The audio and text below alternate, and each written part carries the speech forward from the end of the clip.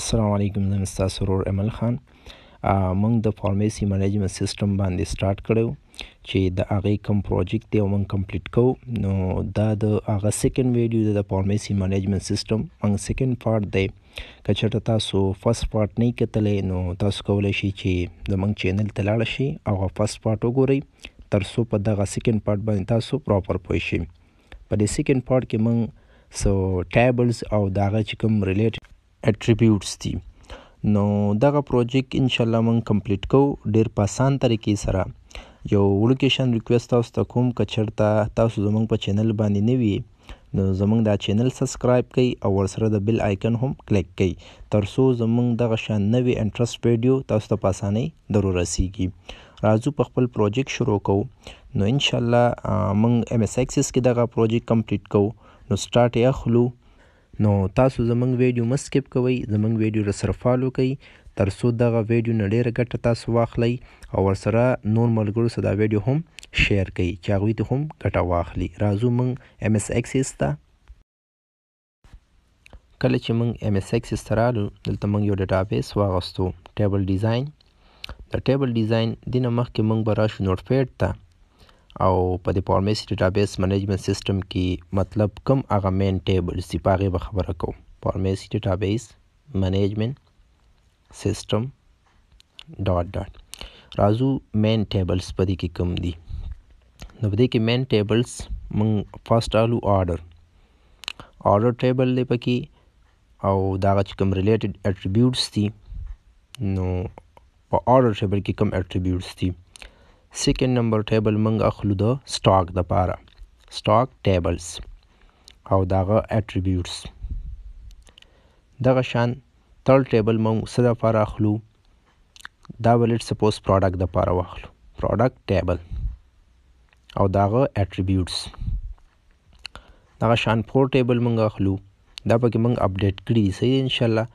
دا به مونږ واخلو د کسټمر د لپاره کسټمر ټیبل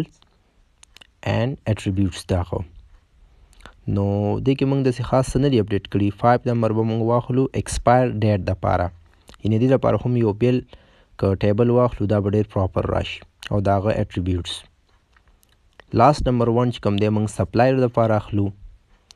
نو 6 نمبر د سپلایر ټیبل چې کوم دی او د هغه چې کوم ریلیټډ اټریبیوټس دي سپلایر اټریټیبل اټریبیوټس نو دا د د مطلب موږ سره غو مین ټیبل زی پس کې فارمیسی ډیټابیس منیجمنت سیستم کې تاسو ګورئ دغه 6 نمبر دغه 6 ټیبل موږ سره سری پدې کې مین دی صحیح دی ان شاء الله نو راځو تا اوس الریډي زه په ټیبل ډیزاین کې نو تاسو براشي کریټ ته او په کریټ کې وګورئ زه اوس الریډي په ټیبل ډیزاین کې یم نو کریټ او ټیبل ډیزاین نو دلته موږ د آرډر لپاره ټیبل اخلو نو موږ به اول واخلو آرډر آی ډي اټونم کې به واخلو آرډر آی ډي اټونم تر څو په د باندې موږ پرایمري کې ولګو دا شان د ډرګ آی ډي اخلو ځکه دلته موږ پارن کې اخلو په نیکسټ ټیبل کې موږ دغه لپاره پرایمري کې اخلو دغه شان ډیټ دی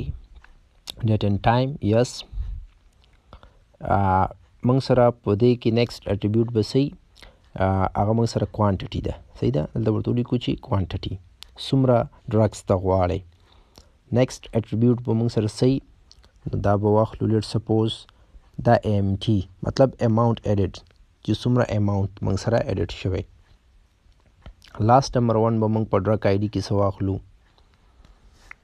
لیټ سپوز یا سپیم موډ سپیم موډ مطلب لوک اپ ویزټ ته بلاړ شو په لوک اپ ویزټ کې به ته دوه ویلیو ورکو چې دا موږ سره کیش دی که چیک دی پی موډ مطلب کم پی موډ یعنی څنګه پیسې دي کم ډول پیسې دي موږ صحیح ده پی موډ کیش او بل به څه واخلو چیک صحیح ده او دا به څه کو نیکسټ نو مالټیپل کېدای شي دواړه څوک ورکړي یو وخت کې دته به ورکړو مطلب کیش اینډ چیک سی ایچ ای کیو یو ای چیک دلته به بل نیکسټ یس که دلته مونږ والو د کسټمر ریفرنس دلته مونږ فارن کی واخلو د کسټمر ریفرنس لپاره الته په پرایمری کی واخلو راشو کم ډرګ آی ډی باندې به پرایمری کی ولګو دا مونږ سیف کو د څه په نوم سره د آرډر ټیبل مونږ وی چې اول فرست نمبر آرډر ټیبل اخلو صحیح ده اوکی بازو ټیبل ډیزاین ها نو دلته اوس مونږ ګورو چې کوم سیکنډ ټیبل لور پسې سټاک ټیبل نو دلته اوس مونږ په ټیبل ډیزاین کې د سټاک ټیبل باندې سٹارټ اخلو دا غول ډرګ آی ډی پکار ده اټونم کې به واخلو تر څو په د باندې پرایمری کې ولګو صحیح ده ډرګ آی ډی سیکنډ نمبر ورپسې واخلو سپلایر آی ډي سپلایر آی ډي دلته په فارن کی کې اخلو او دا غي چې کوم ریلیټډ خپل ټیبل دی هغه کې مونږ پرایمري کې اخلو نیکسټ ورپسې اخلو ډیټ ډیټ ان ټایم یس پرایس ورپسې واخلو نمبر کې به واخلو نیکسټ اټریبیوټ چې د ټیکس دی نو ټیکس مونږ نارمل په نمبر کې اخلو او ورپسې به کوانټټي واخلو اماونټ اف کوانټټي او بای فرایز به واخلو سیلینګ او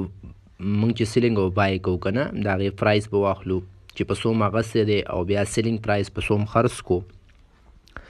لاس نمبر اټریبیوټ په مونږ واخلو کرنټ انوینټری چې کرنټ انوینټری تا په سکه کړ صحیح ده کرنټ انوینټ ډیسکرپشن کې ورته ولیکو دا به نم کې واخلو ډیسکرپشن کرنټ انوینټري صحیح ده په ډرګ آی ډي باندې موږ پرایمري کی ولګو سی دا ټول اټریبیوټس موږ واغستل په ډرګ آی ډي باندې موږ پرایمري کی ولګو او دا موږ سکو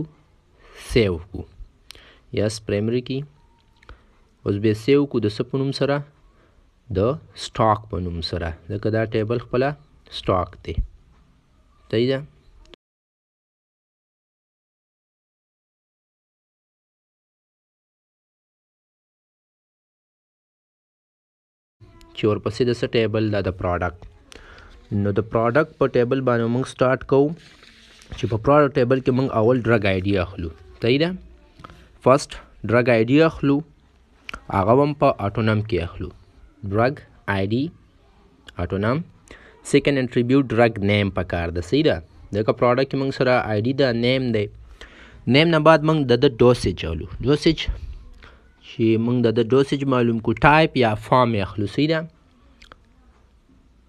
نیکسټ کوم اټریبیوټ دی ټایپ یا فارم خو موږ به د فارم لري کو یو شی دی سیم ده چې کپسول دی که کریم دی که ټوب دغه شان چې ورته موږ وایو که نه نو جس موږ به ټایپ واخلو یا فارم دی هم ورسره لاس نمبر چې دی موږ سره ډرګ امیج ده تصویر د دوا هم پکار دی که نه بای ډیفالت تاته په ډیټابیس کې ښکاره شي چې دا کم ډرګ دی نو فرایمري کی یا سیو او د څه په نوم سره د پروډکټ ټیبل په نوم سره پروډکټ ټیبل په نوم سمنګ سکو سیو کو رازو بل ټیبل ډیزاین یو بل ټیبل کریټ کو چې ورپسې کوم ټیبل ده د کسٹمر ټیبل ده نو کسٹمر ټیبل چې دی په هغه کې موږ څه اخلو اول به د کسټمر ریفرنس اخلو صحیح ده اټونم کې بیا خلو تر څو د چې کوم خپل ټیبل دی هغه کې موږ فارن کی اغستې ده دا د خپل ټیبل پرایمری کی پکې خلو کسٹمر ریفرنس اټونم په سٹاک ټیبل کې فکر کوم چې موږ د فارن کی اغستې دی دا د کسٹمر پاست نیم دی دلته آی تھنک سټاک ټیبل ده یس تاسو وګورئ سټاک ټیبل لې دلته آرډر ټیبل د آرډر په آرډر ټیبل کې موږ د د تاسو ته ښکاري د ټیبل ډیزاین ته لاړ شم تاسو ګورئ د موږ دلته په کسٹمر ریفرنس کې ګورئ فارن کی د کنن نمبر هم غسته او کو دلته د کسٹمر ټیبل تر شول ته موږ پرایمری کې د واغسته صحیح ده دا ګوره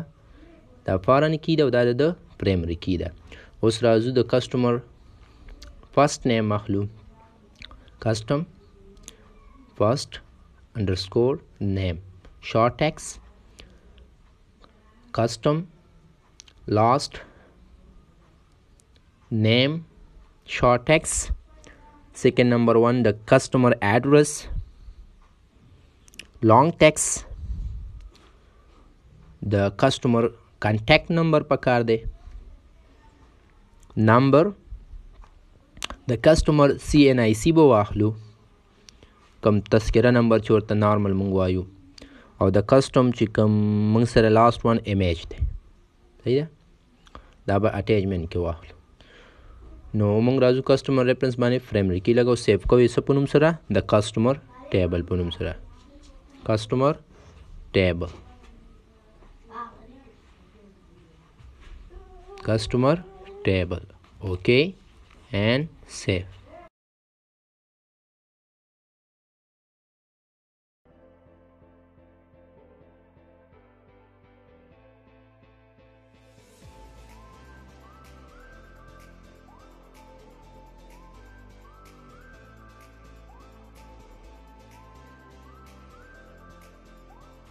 نو موږ نیکسټ ټیبل اخلو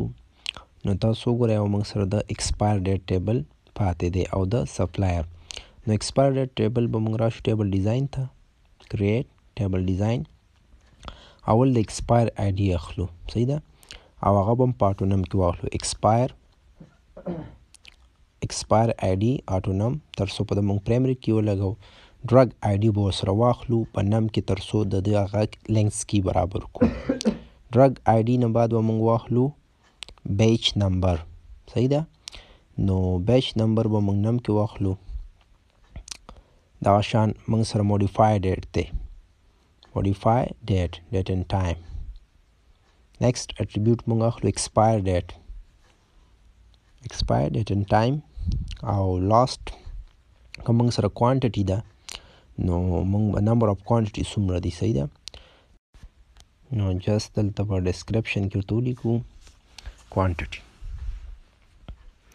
د باندې مونږ پرایمری کې ولګو په ایکسپایر آی ډی باندې او دا مونږ سیف کو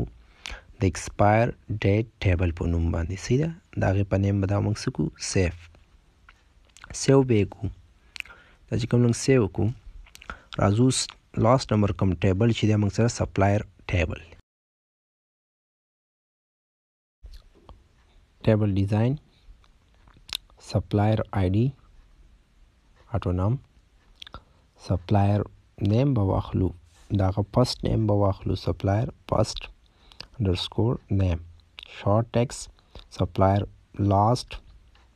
انډرسکور لاست انډرسکور نیم شارټ ټیکس سپلایر اډرس به واخلو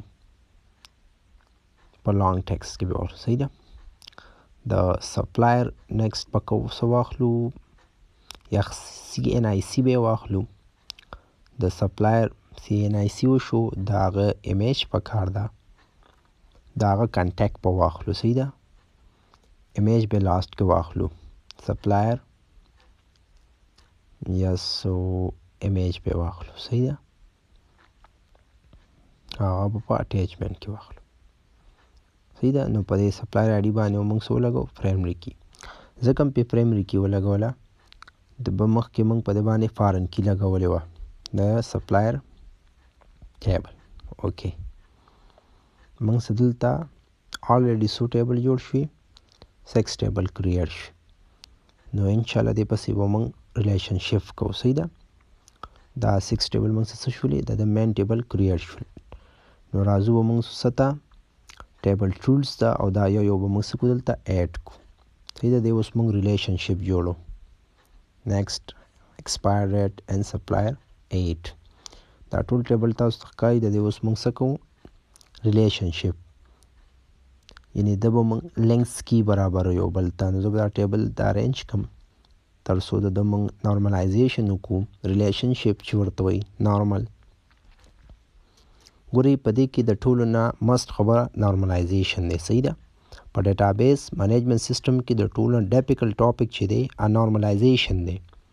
صحیح ده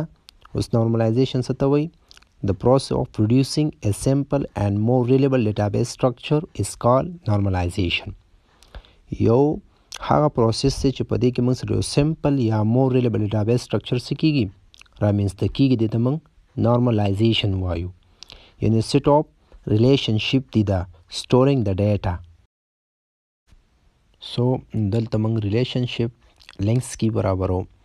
ګورئ دا نورمالایزیشن باندې زیات فوکس وکړئ که چرته ستاسو ډیټابیس صحیح نورمالایزیشن ونه شي نو که تاسو نن ډیټا انټر کړئ که سبا دغه ډیټابیس ته انټر کیږئ نو هغه ډیټا به کیدای شي نه صحیح ده او که تاسو ډیټا انټر کړی کیدای شي هغه په ملټیپل ځای کې ډوپلیکیټ راشي نو دې باندې زیات فوکس وکړئ چې د دغه هغه لینکس کې چې کوم سوپر کې پرایمري کې یا کاندیډیټس کې خو دلته موږ زیات فوکس په پرایمري کې او په فارن کې کوو ګورئ زه دا ډیټابیس کوم ټیبل دی دا زه ارنج کوم دی دا نو سپلایر ټیبل به موږ دې سر ته راوړو کوم کسټمر ټیبل دی صحیح ده اوس ګورئ د پروډکټ ټیبل چې دی د د به سټاک ټیبل سره ریلیشنشپ جوړ د د ډرګ آی ډي راخلو او د سټاک ډرګ آی ډي باندې سکو ډراپ کو ګوره مونږ چې ډراپ کو نو د ټولو ته بچی کان کې اپډیشن ډیلیشن جوائن یس جوائن دی اوکی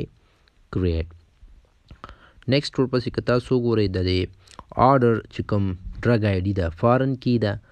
نو موږ سره خو په پراډکټ کې آلریډي پرایمري کی ده نو دا راواخلو په آر ډرګ آی ډي باندې به څه کو ډراپ کو او دا موږ چیک نو دا مونږ کریټ کو دا د دې درې واړو څه شو لینکس کی برابر شو ریلیشن شپ یې جوړ نیکسټ اوس مونږ سره د سپلایر ټیبل او سټاک ټیبل نو سپلایر آی ډي راخلو او د سپلایر آی ډی چې کوم پریمرډ کې د باغې باندې سکو ډراپ کو تاسو کتلای شي دا موږ دلته سکو ډراپ کو نو موږ سکو چیک چیک آن جوائن یس تاسو ګورئ دا موږ سره جوائن دی اوکې اینډ کریټ که تاسو ګورئ دلته موږ سره د ایکسپایر آی ډی چې دا دا موږ د پروډکټ ټیبل سره جوړو سي دا نو د کې خاص نشته دی د ایکسپایر چی کوم مونږ سره ډرګ آیډی ده صحیح ده دا راخلو او د پراډکټ چی کوم ډرګ آیډی ده په هغه مونږ ډراپ کو کریټ یس تاسو اوس ګورئ د دوی هم هغه ریلیشن شپ جوړ شو نارملایزیشن دی صحیح ده دا مونږ سره نارمل نارملایزیشن کیږي د دې تاسو کو سو ګورئ نو د ډرګ د ریفرنس مونږ سره شته دی په دې کم یو ټیبل کیو تاسو کتلی شئ یس د آرډر کې مونږ کسټمر چې کوم ریپرنس ته موږ راخلو او د د چې کوم کسټمر آی ډی د په هغې باندې څه کو ډراپ کو کریټ دا موږ څه کو جوین کو نو تاسو اوس کتلی شئ چې دلته موږ سره نارملایزیشن پروسس څه شو کمپلیټ شو هم په پراپر طریقې سره که چېرته تاسو نارملایزیشن پراپر ونه کړئ ستاسو ډیټابیس کې به ډېر بګز رامنځته کیږي صحیح ده نو ګورئ دغه باندې زیات فوکس وکړئ موږ لینکس کی چې کوم داغه خو پراپر طریقې سره سکړه برابر کړه نو ان شاء الله نیکسټ ویډیو کې موږ د د نور ریلیټډ چې کوم کار دی فارم ډیزاین دا او هغه ته ترو ریلیټډ کوم بټنز دي بیهایند کوډ باندې په هغه به کار تر سره کو نو نیکسټ ویډیو لپاره تاسو انتظار کوئ نو ان شاء الله زر تر زر به موږ هم اپلوډ کو والسلام علیکم ورحمت الله